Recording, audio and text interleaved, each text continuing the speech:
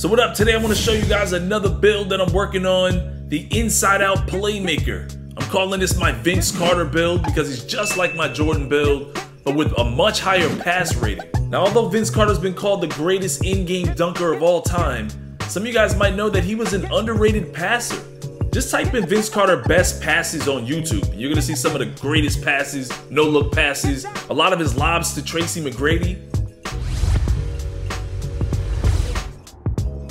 And this face scan creation comes courtesy of Zench Jeans. Hope I said that correctly. Shout out to him.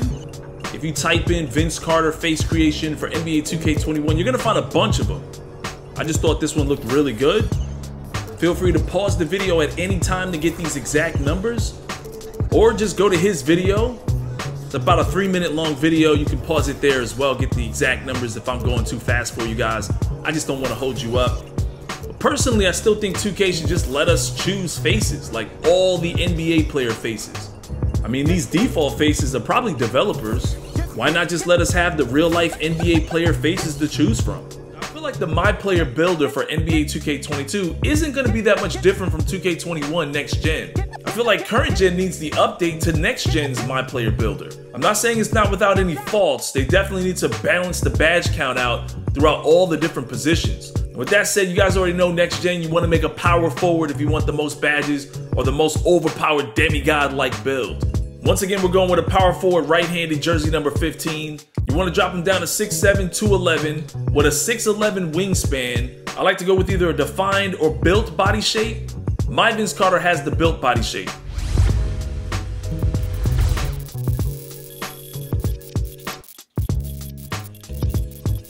Now that you got the attributes down, you should be sitting on 65 badges. Now I'm gonna break this down with his 99 overall with the Gym Rat badge projections. So at full potential, we've got a 95 layup and a 98 driving dunk.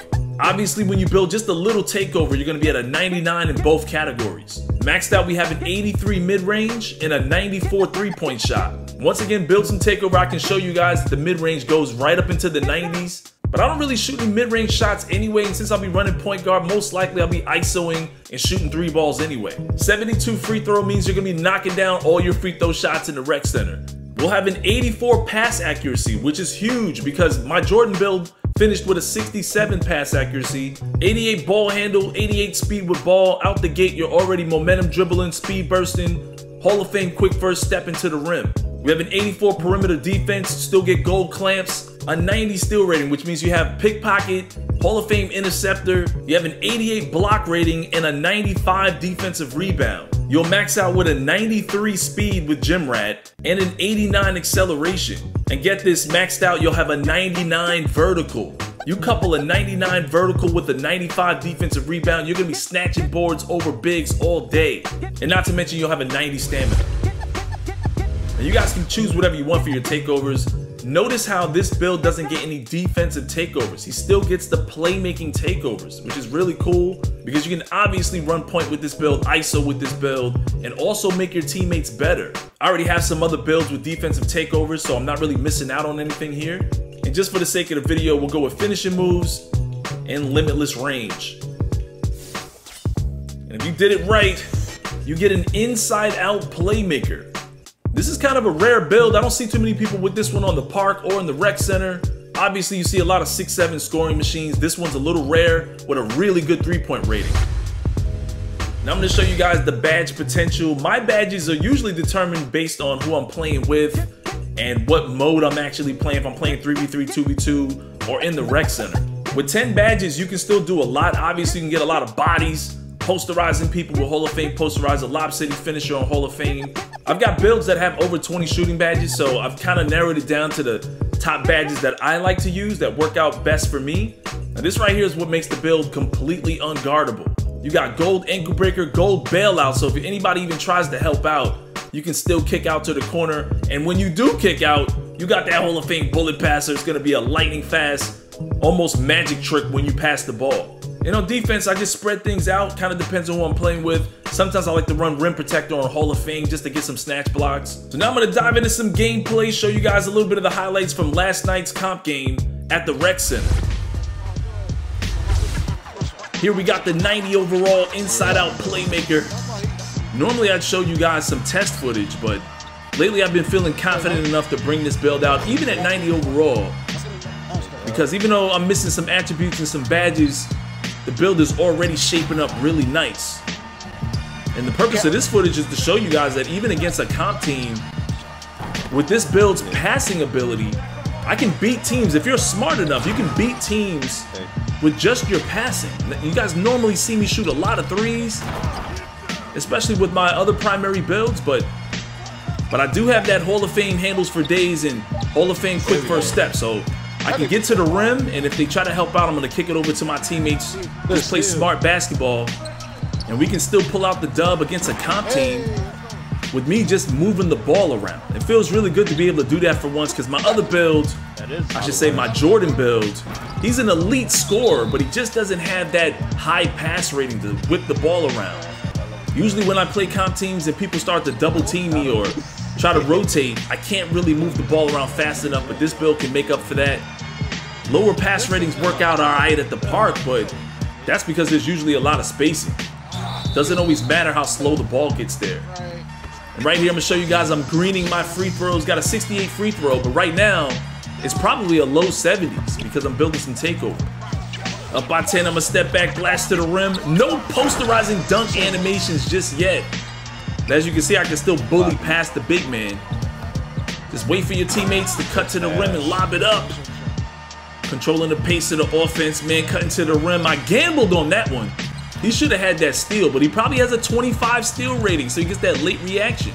Right here, I run and seal my teammate's man away from him, so he has a wide open three. I do that a lot. And by the way, this drive cam seems to work out really good for these lobs. Like I know you guys can see these angles.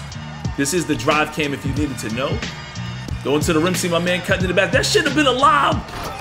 Sometimes you double tap Y or double tap triangle and it just doesn't happen. So right here, we're gonna fast forward to the end of the game where they actually made a great comeback. We're only up by two points. We're gonna try to hold on to the lead. Right here, playing smart defense, waiting for the lazy crossover, get the strip teammate out on the break, the pass up court, and he gets the harm and the hoop. Tie game 67 all, 10 seconds left. They go to the basket and miss the dunk. Ever since the patch, been seeing a lot of that. My man Cap cutting down court, lob, dunk, take the lead. Three seconds left, they need a good shot. This man gets it in the corner, goes for the fade, no good. Game over. We won this game without me shooting any threes. Look at that, 0 for 1. That's crazy. Now on to the park. Now this is my Jordan build. It's pretty much the same build, only with a lower pass rating, but a higher mid-range shot. I rarely shoot mid-range shots, but we do get these snatch blocks. Some of you guys might have remembered this footage. I'm gonna show you just some quick highlights of some of the things that this build, my new build, will be able to do. They're identical builds, just one with a better pass rating. And I had to make this build. I wanted to try this out before the end of the year, mainly because 2K22 is right around the corner. And rather than testing out a bunch of builds in the My Player Builder for the demo, if we get a demo, as I break them ankles, I'm gonna snap them again and hit the jumper. but if we get a demo for 2K22, I just at least have some builds in mind. If I can make an all-round build, even if it's not the power forward, maybe it's the small forward next year, maybe it's the shooting guard, I don't know. Maybe I'll be back making point guards.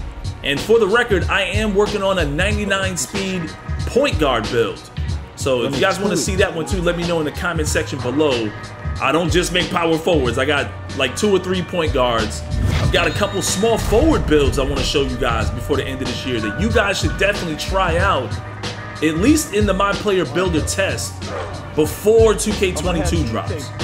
Just so you have some more ideas of what's possible with this My Player Builder, especially if they keep it relatively the same. So can't wait to max out my new build. I don't have any warehouse challenges, and that is a problem. It's like delaying everything because you just can't do it as fast without the warehouse challenges. But regardless, I'd say in another week or so, I should have this build maxed out, and I should be well underway on my Speed 99 PG build, which is something I normally make every year. I always make a 99 speed build, but just this year I didn't feel the need to because with the guard builds, you gotta sacrifice that steal rating, and I kind of like having that. So anyway, let me know in the comment section if you guys Thought this looks like a fun build to use. This Vince Carter build. Expect some videos. Like for the hype, subscribe, and I'll see you guys in the next one.